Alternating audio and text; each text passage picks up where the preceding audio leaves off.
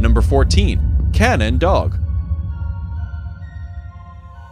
The Canaan Dog is a breed from the Middle East, particularly Israel. Since time immemorial, the Canaan Dog has been used for guarding camps and livestock herds. The wild Canaan Dogs have become very rare because many of those that were living in the open were unfortunately destroyed by the Israeli government in the fight against rabies.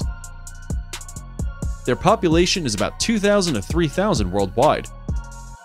Yep, there is only just a handful of them. Canaans are very confident and fearlessly devoted to their job. You can be sure that they are not the kind of dogs to easily scare away. These desert dogs don't get tired quickly, hence, they make the perfect companions for hikes, runs, and long walks.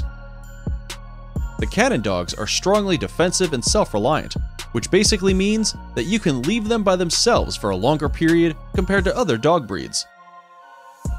They are alert, react quickly, and as expected, they distrust strangers. In the temperament test, the Canaan dog exhibited a 62.5% passing rate, making them the kings of aggressiveness in the canine kingdom.